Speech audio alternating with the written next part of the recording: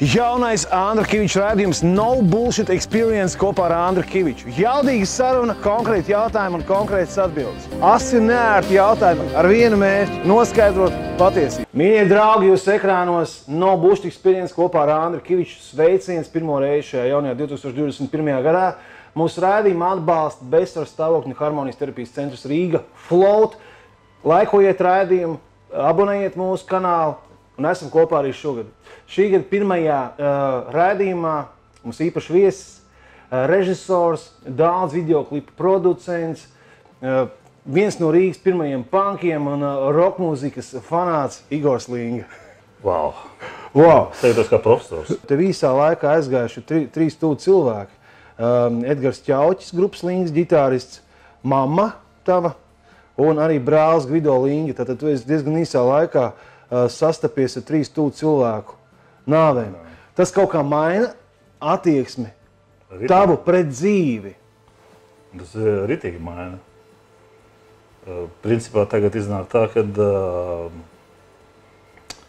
nu, man vairs tā kā nav bērns no nāves. Jo, nu, kur tad vēl tālāk? Nu, ja man māma aiziet un mans bērns aiziet, tad principā iznāk tā, ka uh, jebkurš cits, kas nomirst tālāk, uh, jau ir sīkums. Parunāsim par video. Es atceros, no rīta ienāku telefonā, ieraugu ja, melnbaltu bildi video. Man bija šoks. Pēc tam viss sāk runāt, jā, ka video pārāk labi jau neizstījās pēdējā laikā, un ka varbūt kaut kāda depresija vai kaut kas tāds. Es biju jautājis tev, tu esi viņa brālis, tu biji viņam ļoti, ļoti tuvu. Kaut kas liecināja par to, ka kaut kas tāds varētu notikt. Es domāju, vat mēs ar Gudu paliksim veci, vai mēs sēdēsim 80 gadīgu onkulīšu, un es satraukšos par viņu, ka tik viņš nenomirst, un viņš satrauksies par mani, ka tik es nenomirstu. Un tāpēc es biju šokā, ka tas notika tagad, uzreiz tā, fū! Es pat nedabūju pat 10 metrus no šīs sajūtas. Tas man bija šoks, protams. Ne, nu, tas, ka tu nenotici, man bija tā, ka ā, man piesana Evija un Gudo sieva. Un tādā balsī, Igor zina, kas ir. Es saku, nu, ielcīt. Es domāju, man tas pateiks. Gvido piedzēries, es nezinu, nu, kaut ko pateiks, nu, ko viņa man var pateikt, ā, ja viņa man zvana. Es jau viņu tā nesazvanījāmies. Viņš saka, viņš man sāk stāstīt, ka tā un tā, un atbrauc ātrā palīdzība. Es pie sevis domāju, nu, Gvido, nu, tu jau līdz slimnīcēs nokļūsi, nu, jo, Haidī. Un tad pēkšņi atskan teksts. Un tad viņam apstājās sirds. Es tā, nu, zinām, man likās, nu, apstājās, pusi tu meklē aizgāja, nu, varbūt tev bija paspīlēt. Un viņi 40 minūtes viņu pumpēja. Es saku, kā 40 minūtes? 40 minūtes viņam bija apstājusies sirds ātrā palīdzībā. Un es beigās saprotu, ka blīd, es saku, bet viņš ir dzīvs tad? Jā, viņam sirds aizgājas. Fu, nu, br- bračka. Un pēc tam, tikai pēc tam es saprotu, cik tas ir nopietni, kad iedod 40 minūtes sirds un smadzenes neapo un sirds nekustās, tad uh, tas nozīmē, ka jebkurā gadījumā, ja tu paliec dzīvs, tad nekas vairs nav labs. Baigi, nu, tas bija tāds šoks. Nu, tā kā filmā, reāli. Un tad, uh, tad kad viņš pie īstam aizgāja, es nespēju to noticēt. Man viss beigas, kur tāds mierīgs, zinām. Un, nu, es tā, es kaut kā pilnīgi aizgāju, tā kā rakstītu, es nezinu, par Džonu Lenonu. Tā, tad, tad, viņš, tad, tad viņš aizgāja no mūsu sabiedrības, tad leģenda, malacis, ļoti daudz izdarīja. Tā kā par kaut ko citu cilvēku. Nu, tā. Un Reāli tikai vot tagad nāk atpakaļ šis, te, ka tu ies saproti. Nav. Saka, saka paiet divi mēneši, kamēr pielēc. Nu, man sāk pieliet, es saku, jūs, ka kaut kā baigi pa īstam tas viss ir. Un galvenais, mēs tiem runājam pa telefonu, es tev zvanīju tajā dienā.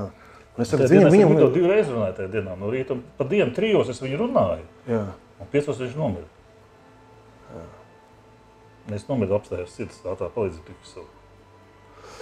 Un, un mēs nā, pēc tam ar tevīm, un es nekad nav bijis ar sirdi problēmas. Ne. ne ar kādām plaušām nav bijis problēmas. Nekad ne ar ko. Tur ir tā lieta, zin, kā ja cilvēks nu, ārstējās, cīnās un guļ slimnīcās, un tu saproti, ka beigšu vakar to veselību nu, kaut nu izturēt un tā. Nu. Nu, tu vienkārši, nu tā kā es, nu, pēkšņi nu, to pasaka, Igors nomira. Kā nomira? Es šo vakar intervēju. Nu, jā, viņam sirds apstājās. Un tas ir tas nereālais. Zini, ka cilvēki, teiksim, saslimst ar kaut kādiem audzējiem, tad tur cīnās, viss ziedot, tad tu saproti, ka kaut kā izturēt, nu, kaut, nu, kaut, nu, tad tu pusgadu cīnās, tad vai izvesaļojas, vai, nu, vai notiek kaut kas cits. Tad tu, nu, jā, redz, tā, tomēr tas bija, tomēr, bet viņš ir malacis, viņš cīnījās pusgadu, bet, nu, tur nevarēja. Vai šeit neviens neko necīnījās. Ja retrospektīvi skatās, kaut ko varēja darīt.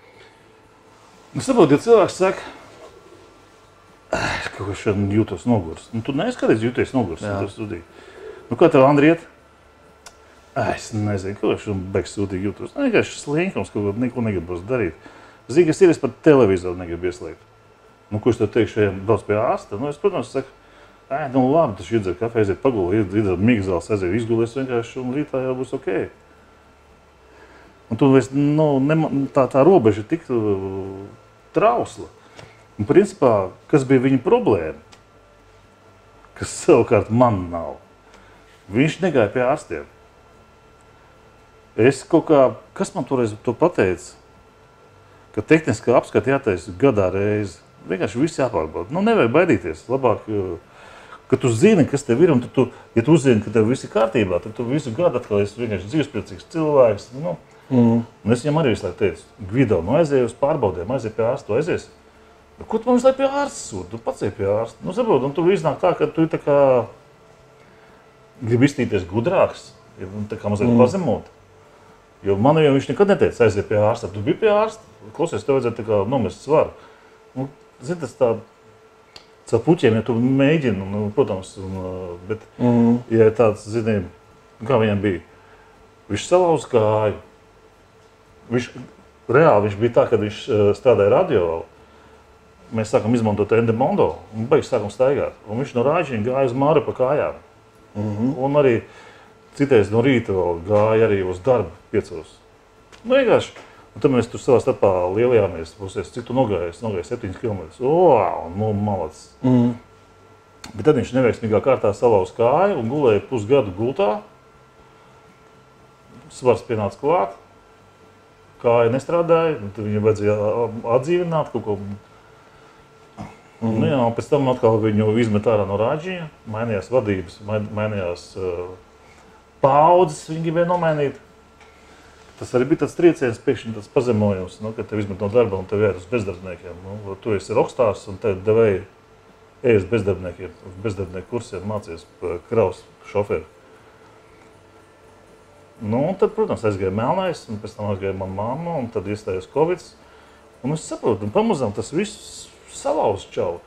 Bet, bet viņš jau uh, man neteica, ka viņam ir kaut kāda depresija, beigas sūdīga. Jo, Principā, ja mēs viņu runājam, mums jau sūdīgi neiet. Nu, kā nu, šlāgera kanāls, močī, mūzikas video kanāls, močī. Bet tas, ka viņam nebija um, domu biedra, ko kopā taisīt gabals, nu, ka tu nevari mēģinājumā sēdēt strīņšķināt kopā. Tim, tim, tim, evo, kāpēc šo te? Tim, tim, tim, evo, vai labi akordi. Šis viņam pietrūka. Kāpēc viņš ar Viku nevarēja sēdēt kopā ar cālīti? Nu, tur bija kaut kāds viņu savstarpējās. Vika man pēc tam teica, ka tas viss tika tik nožēlojami, ka tu kasies ar saviem savstarpēji par neko. Ko principiāli jautājumi. Nu, Sastīdās par vienkārši par neko.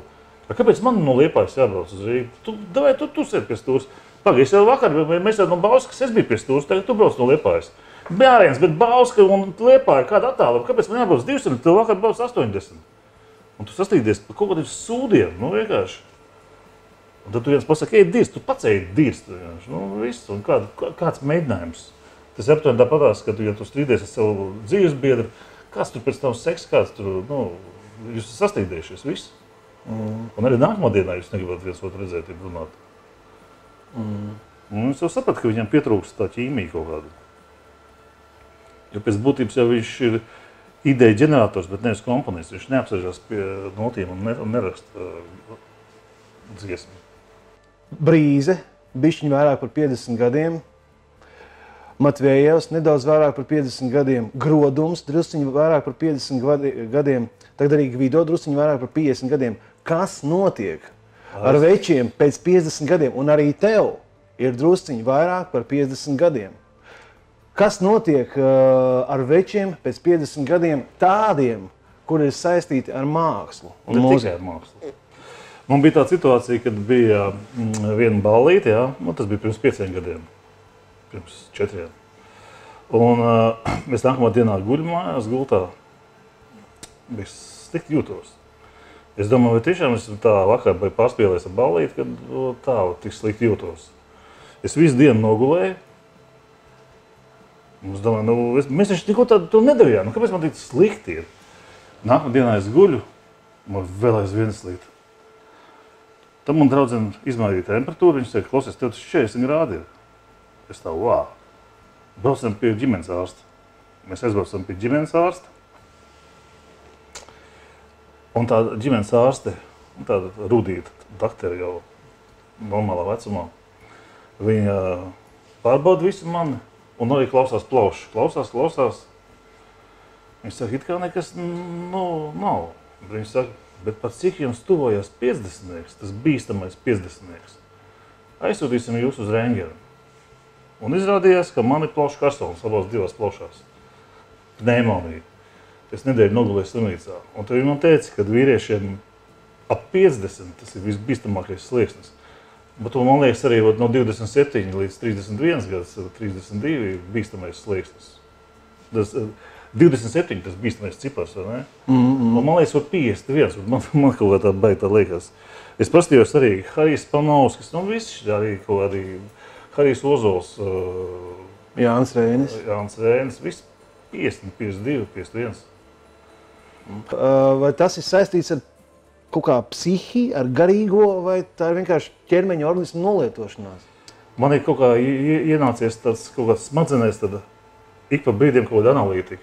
Es atceros, ka es uh, biju mazs puika, gāju bērndārzā. Cik man bija kaut kādi, es nezinu, pieci gadi, četri, pieci. Es gulēju gultiņā un domāju, kas būs pēc tam? Es tagad te guļu, eju uz bērndārzu. Pēc tam taču pienāks brīdis, ka es vairs negulēšu un negribu neiešu uz bērndārzu, bet iešu kaut ko citu darīšu. Tad man bija tāda situācija, kad uh, man palika desmit gadi. Atnāca mans māmas sirds draudzene ciemos, apsveic manu dzimšanas dienā, uzdāvināja tādu lielu 52. gada, 1952. gada grāmatu Lāčplēs. Un, uh, un te man teica, nu redz, tev šodien paliek desmit gadi. Viņš saka, un tev vēl viss dzīve priekšā, bet viņš saka, tu zini, kas ir Igor? Tas laiks aizvien ātrāk, ātrāk, ātrāk, ātrāk, ātrāk, ātrāk sāk skriet. Es tā domāju, nu, kā tas var būt? Un man visu laiku, visu laiku vēlkās, visu laiku jāiet uz skolu, visu laiku vēlkās tas laiks. Tu gaidi skolā, ka beigsies tās stundas, un tu vienkārši vēl, vēl tā diena nav beigusies. Un tad es jūtu, ka tas laiks tiešām pamazām. Pēkšņi tu jau esi 8. klasē, un tad tu jau esi beidzis 11. klasi, 12. Un tu pēkšņi stāvi izvēles priekšā, ko darīt. Augstskolā mācīties, mm. iet kaut ko strādāt, ko vispār darīt. Un izrādās, skola beigusies. Izrādās, tava bērnība ir beigusies. Un tad bija vēl tas maģiskais cipars - 16 gadi un 18. Labi, 16 gados es to nejūtu vēl tā. Bet es atceros, kad uh, man pienāca man 23. janvārī dzimšanas diena. Un es beigās gaidīju 18 gadu jubileju. Un tad man palika 18 gadi. Es ar māmu un brāli, zinām, tas, tas, tas laiks, tas pelēkais sniegs kaut kāds tā augsts. Citreiz ir mīnus 2, citreiz mm. mīnus 25 grādi, kā kurā gadā iekrīt. Mm. Parasti vienmēr tas tumšs, visu laiku tas tumšais. Un es tā imantā sēžu virtuvē, domāju, wow, man palika 18 gadi. Tas būs gads. Pat tas ir tas, par ko visi runāja kad man bija reiz 18 gadi, tu dziedi visas tās dziesmas, vai? Un domāju, vot tagad man arī sākās 18. Mm. Cik gados tu iedzēri pirmo reizi alkoholu? Otrajā, trešajā kursā tas bija 16, 17. Mm -hmm. Bolu kaut kādā. Ko jūs dzērāt? Bolu.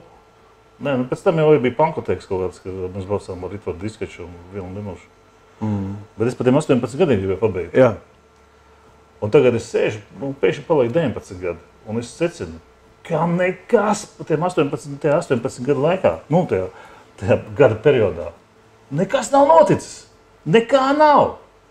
Tu sēdi tā kā pagājusi būtu viena diena, un tev jau paliek 19. Un man bija tāds sajūta reāli, ka es esmu padirsis 18 gadus, jo nekas nav noticis.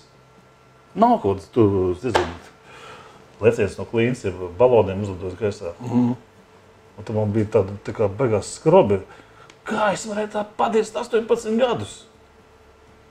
Un tad es sapratu, ka nekas jau nemainās, ne arī 19, ne 20 gados.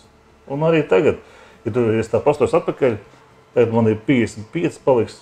Es pats esmu šokā no tā cipara. Man jau palika, es biju šokā, ka man palika 40 gadi. Nu, pēc tam nu, tas šoks tā kā visu laiku, bet tagad tev tā kā pohus iestājies. Jau, nu, tā. Mm. Es sapratu, ka nu, tiešām nav jēga skatīties pasē, kā man viena meitene teica, tu labāk pieeji pie lūk, pasties, un tu redzēsi, ka nekas nav mainījies. Nu. Mm. Es runāju ar Latvijas uh, galveno hipnoloģiju. Dācis Rolovu, un viņa teica, ka tas daļai ir tāpēc, ka cilvēks katru sesto milisekundi krīt transā ka būtībā ir baigi interesanti, ka mēs noskatāmies kaut kādu teiksim, izrādi vai filmu, un tev prasa otrā dienā, ko tu atceries. Un tu neatceries parasti vairāk par 10% no satura.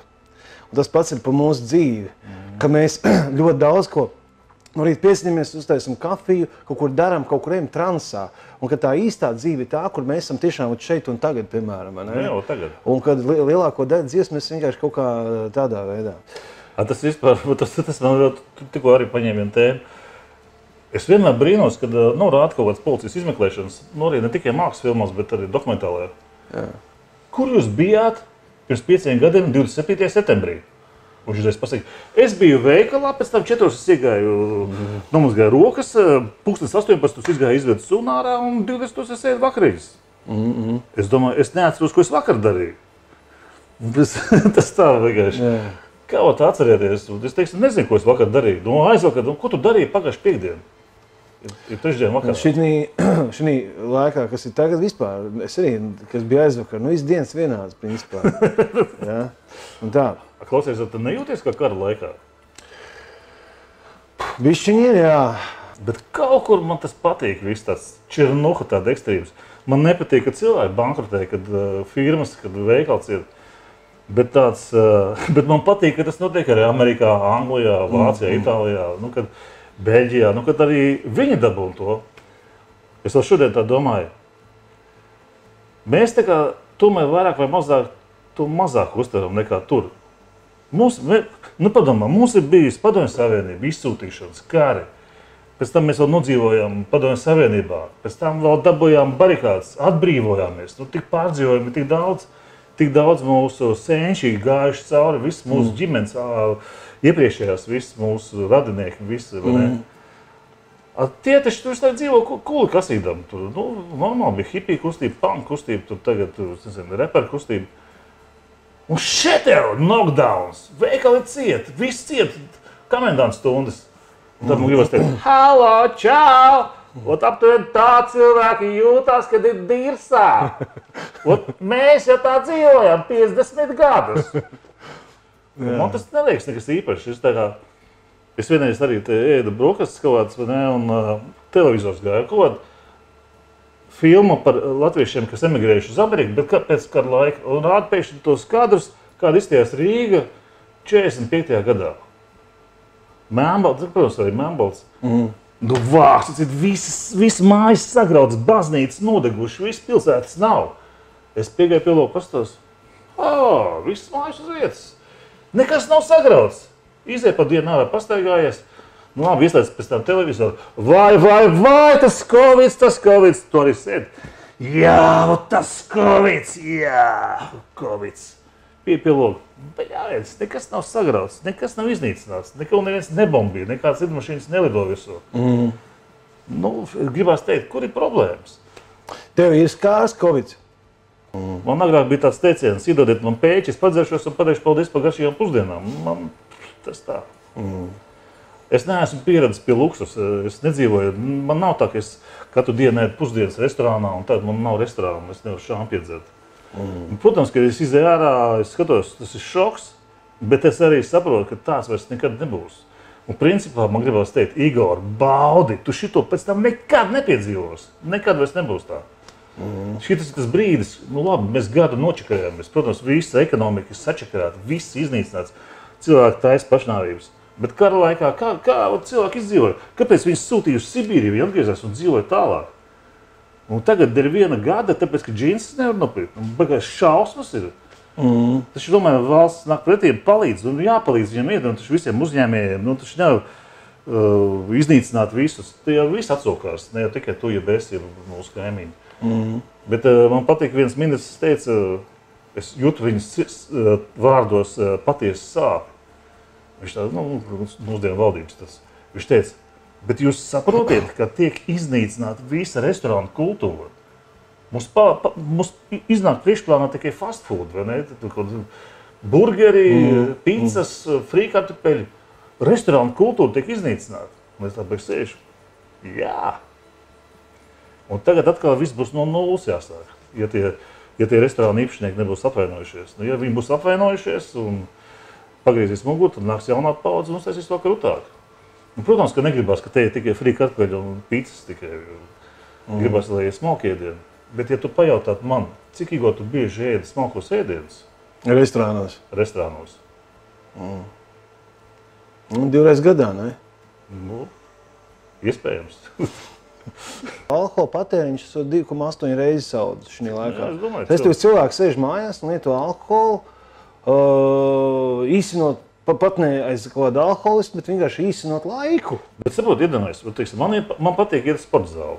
Jā. Man patīk nokačāt sevi, iz, izmocīt. Man patīk. Mm. Sports zāles ciet. Zinu, parunājot druskuļi par alkoholu. Es arī par to daudz domāju. Mēs arī uh, ar tevi traknījos gados īpaši esam uh, jautri uzdzīvojuši un tā, bet laiks iet un īstenībā es domāju, ka prieka mirklis kļūst aizvien īsāks, uh, poks aizvien mokošāks. Ja? Bet Latvija ir tātad piecinieka Eiropas Savienībā stipra alkohola patēriņā uz vienu iedzīvotāju. Kāpēc notiek kodienas? Nu, es domāju, ka tas alkohola lietošana droši vien tomēr katram ir pilnīgi cits iemesls. Uh, teiksim, manā gadījumā bija tā, es vienkārši esmu arī par to domājis vairākos aspektos. Viens. Agrāk es dzīvoju uz Dzirna un Čakielas stūra. Man šokēja tas, ka tu pārējai pāri ielai, tu esi Berga bazāra rajonā, tas smalkais rajons, viss luksus. Pārējai atpakaļ uz Latvijas, nu, pārējai Čakielai pāri, mm. un tu esi Černuhā, narkomāni, miskastas, bomži. Tu 90 gados biji vispār. Un prostitūts vēl pa Čakielu uzliec stāv. Un uh, man bija tā, ka kādreiz man bija beigā tāda iekšējā vēlēšanās, man draudzene uzdāvināja, viņa atveda no Londonas tādu melnu metālīti, tādu pusmetālu. Es viņu saucu par rakstnieku metālu. Un man vienreiz gadā baigi patīk iet, nu tā, nu tad tu šodien sēdi 11 no rīta 10. Te nav ne paģirs, nav nekāda svētki, kaut kāda trešdiena, ceturtdiena. Nu, kaut kā trešdiena, tad vispār nekāda diena. Un pēkšņi tu saproti, es tā tieši pa Ernestu Birznieku upīšu ielu. Ot, sākšu no mar, maršruta autobusu galpunkta.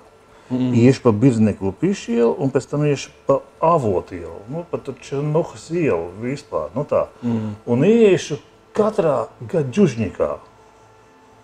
Katrā mazajā un tu sajūties, tu dabūji to garšu, ko tu nedabūji smalkos restorānos. Smalkos tu dabūji citu pēcgaršu. A tur tu dabūji. Tas, nu, tas bija ot kaut kāds ā, 2000, 2001 gads.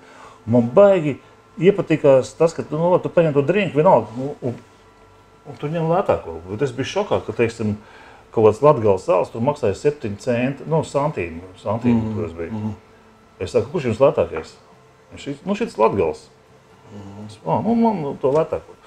Un tad tu sēdi, skaties uz turieni. Fonā iet vai nu krievu mūz, mū, mūz, mūzika. Un tagad man vienreiz bija tāda situācija, ko es neko citu nebūtu piedzīvojis. Es tā beigu sēžu. Un tas bija tieši pats sākums, pirma, pirmais, pirmais gadžužņiks, kur es iegāju. Mm. Es beigu ieeju, apsēžos, paņemu to lēto alu. Un ienāk iekšā sieviete un vīrietis, bomži kaut kādi. Nu tādi bomži. Un šie beigas, nu, krieviski runā, un tā pārdeve ir tāda molīga, tāda, nu, tāda arī krievieta.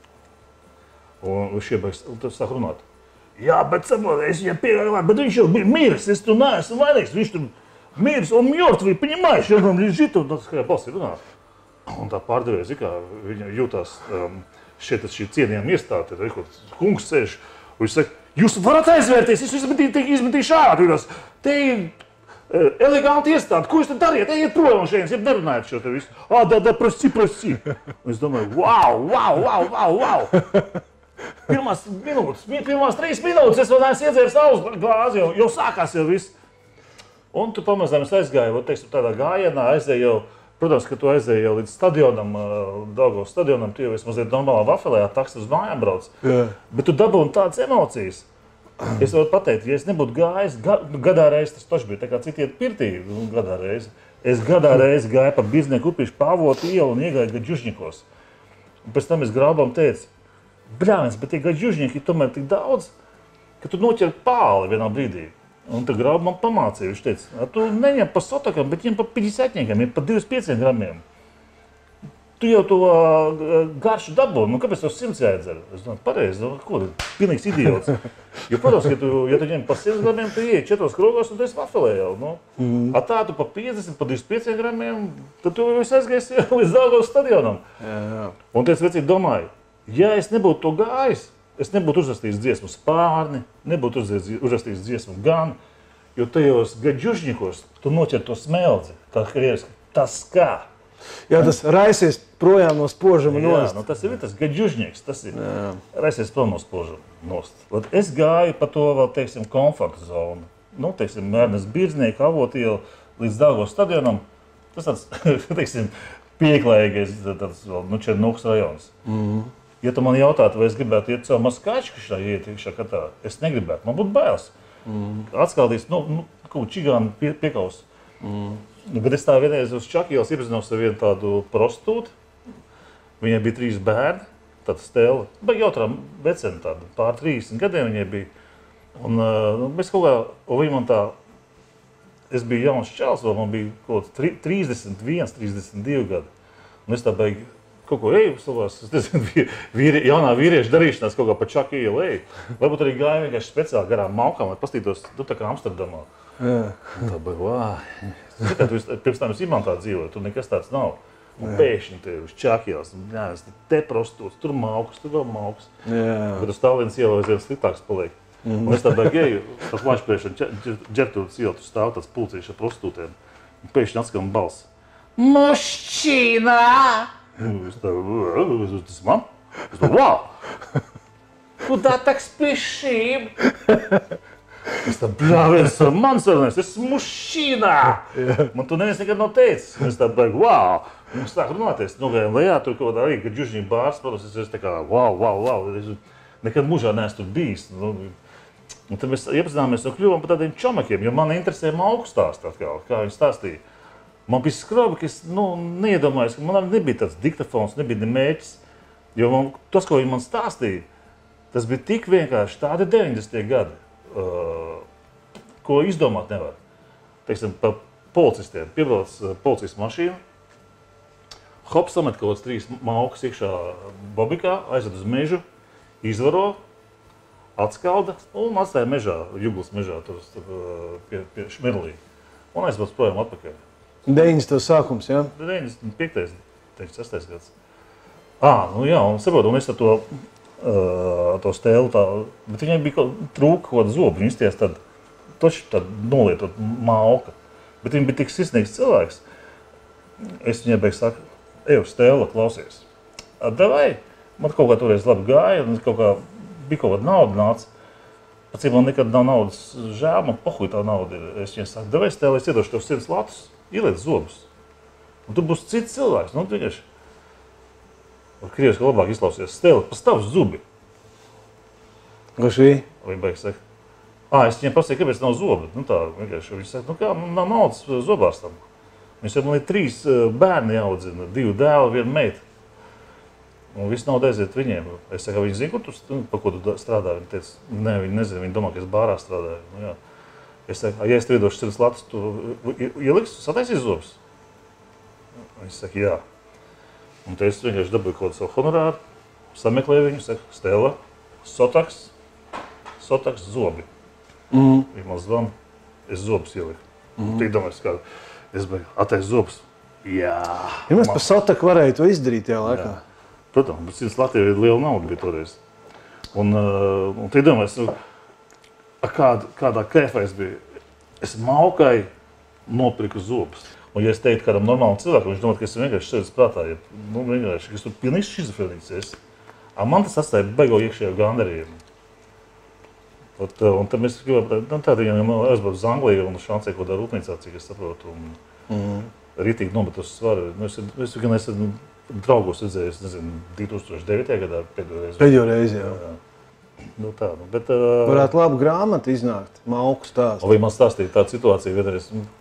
Bet viņi bija tādi jautri, tā kā tu, kad viņi runā, tu vienkārši redzi visu laiku, ko viņi stāsta ārprāti. Bet tas ir tik smieklīgi, kā viņi to visu stāsta. Mm. Ar naivumu tādu, nu, teiksim, viņi arī bija stāstīgi. viņi bija tādi molīgi, tādi, zināt, normāli krievi, tāda duņa tāda. Un, uh, viņi bija pie kaut kāda biezā uz laišplēša un čakielas stūra mājā. Un viņš dzīvoja divus tādu dzīvokli, divus tādu dzīvokli, viņam augšā bija lūka uz bēniņiem. Tur bija kaut kāds tusiņš, ko cilvēki ostīja kokaīnas un dzēra.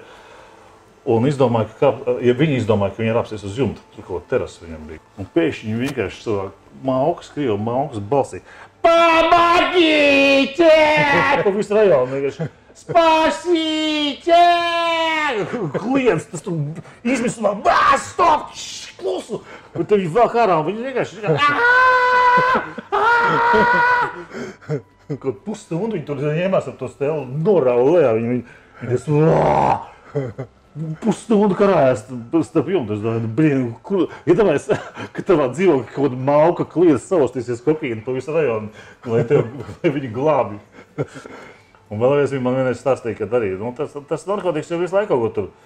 Bet viņi bija tādi tusētāji, nu, ja ne, neincēdē narkotikas, nedzērt. Nu, un tad man vienreiz arī mēs nu, sazunājāmies.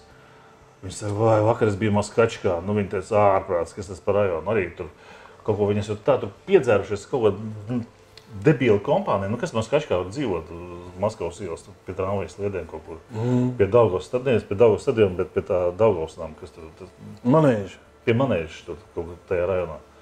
Un viņš saka, Un viņa tik drausmīgi sūdīga palika. Pēkšņi nu, viņa kaut kāda naktis, kaut kāda četri naktī, trīs kaut kāda. Nu, vienkārši uz korķa rauga. Otru galu arī viss gāžās ārā. Viņi visi piedies uz visu to piemēmus, izgājuši ārā, nespēja, kur atrodas.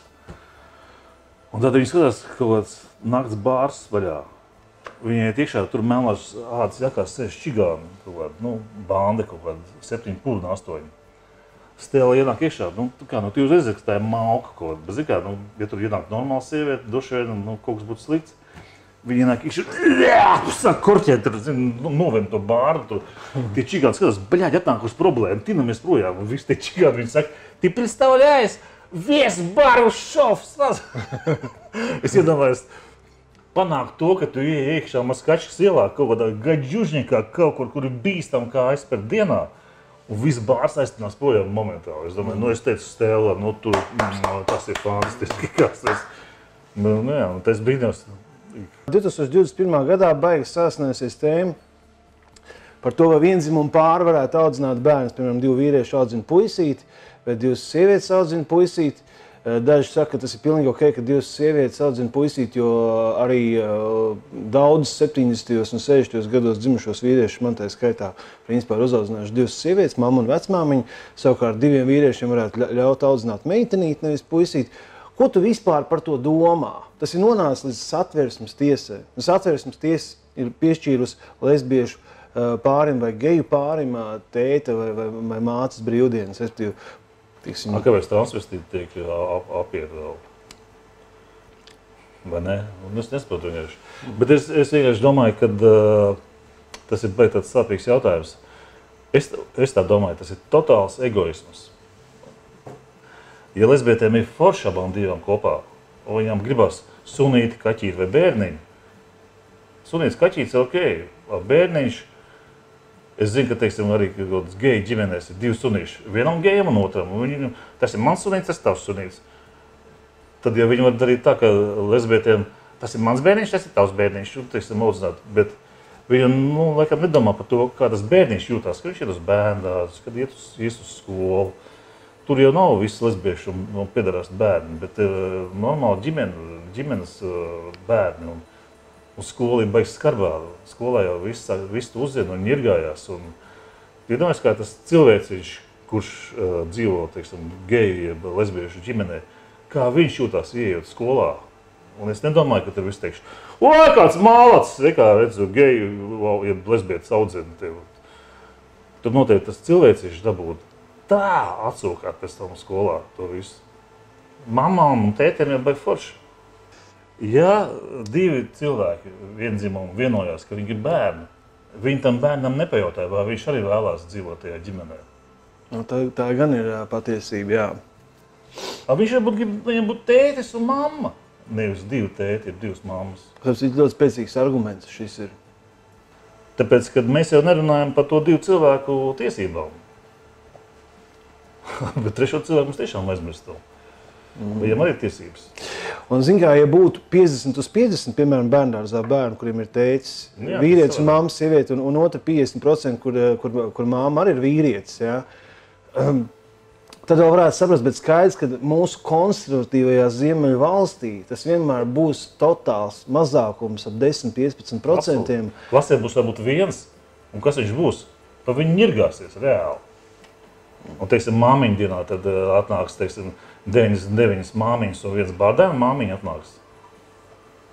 A, viņš arī vilks klēt. Nu, tas ir tāds cilvēka egoisms, totāls. Es nezinu, nu, Parunājot druskuļi par mūziku un par video. Uh, agrāk bija tā, nu, jā, mēs jau veci paliekam. Mēs tad agrāk, es 86. gadā dzirdēju Ziemeļmeitu. Man bija momentāli zosena, momentāli tā dziesma pielipa. Skaidrs, vai ne? Uh, bija arī skaidrs, kas ir šī gada labākā dziesma, kas ir labākais klips. Tagad kaut kā tas ir savādāk. Piemēram, mums tagad ir 21. gads, ja tu atsk- atskaties uz 20. gadu. Nu, kura bija tavuprāt latviešu popmūzikā, poproka mūzikā labākais gabals un labākais video? Un tu ar tiem video saskaries regulāri, tev pieder mūzikas video kanāls. Tātad, ja? uh, nu, kas ir labākais? Man ir svarīgi, teiksim, ja- jauno mūzika, mūzikas izpildītāju, kas man patīk. Ja tu jūti, ka viņš ir cilvēks, viņš ir cilvēks, ir talantīgs, nobriedzis, mazliet huligānisks, un kad viņš nevis tēlo, ka viņš ir mūziķis, ir eh, dziedātājs, ir kaut kā piepildīt savu sapnītu bērnības, jo viņš visu mūžu, mūžu gribēs būt dziedātājs pie mikrofona. Bet, kad viņi ja runā tev saprotamā valodā, nu, tad mazliet huligāniski un tu jūti, o, tas ir talants, malači. Tu malači, kurš tas ir tā. Bez tēlošanas krūta. Ja tu vari pateikt krūta, Mm. ja Čels spēlē kaut kādu mūziku un uh, tu redz, ka viņš tikko ir skolu pabeidzis, ja viņš dzied uh, pa, skolas, pa skolostēm, ej, jo visi tie skolotāji, visi sūkātāji, tad tu saproti, ka viņš uh, risina savu, savu jautājumu, ko viņš tagad ir piedzīvojis. Tad viņš nemelo, tad tas ir forši. Ja? Mm. Uh, gribas teikt, nu, ka tas paies vēl 2-3 gadi, jau dzirdās par sabiedrību, nevis par skolotājiem. Mm. Bet, ja viņš jau tajā vecumā dzied, vai tu zini, kas ir dzīve, vai tu zini, kā tas dzīvo, nodzīvot dzīvi, tad domā, bļāvis, gals, sāk sāpēt sīkais aizveries. Nu, vienkārši nu, padienē armijā, es nezinu, aizbraucu uz Afganistānu, iziet cauri tūkstnesiem ar kājām, tad dzīvo, dzied tāds ļečīt kādu. Zinu, viņiem vienmēr liekas, ka viņi visu zina. Nu, vien es jaunībā arī domāju, ka es visu zinu, un kaut gan es nedomāju tā. Bet, kas sāk audzināt? Mm. Ja man sāk audzināt 17 gadīgs zēns, vai es zinu, kas ir dzīve, man ir svarīgi, kā viņš kustās, vai viņš ir pārliecināts. Ja viņš izstāsta nobijies, atbrauc no laukiem un vēlāk viņš beigās krutējis čels. Tev jāmāk ir saprast, ka sportā, ja baletā ir krūta, tu zini, no 18 gadiem līdz 27, 28 ir tavs laiks. Pienāks 3, 4, tu jau esi vecs, un tu to, to reiķinies. Mūzikā ir problēma, ka tu tā kā, nu, tu liekas, ka tu vari maukt tālāk. Tikai tu nesaproti to, ka neesi tu, bet vispār. tas- Ka tu jau esi vie- viena fanu acīs jau opītis. Ko tas vecais vīrs tur skatos, kā mums vajag mūsējos jaunos 18 gadīgos. Un, ā, tam, kam ir 34, 42, nedod Dievs, tas saprot, ka viņš ir iz, izrotējis. Nu, Jā, jā. un tad iestājas arī depresija. Protams, iestājas depresija. Izrādās, ka tu vairs neesi vajadzīgs, tu esi nekas. Mm. Jā. Tad es viņu aktieriem, un kino, un kino režisoriem, režisoriem ir forši paveicies.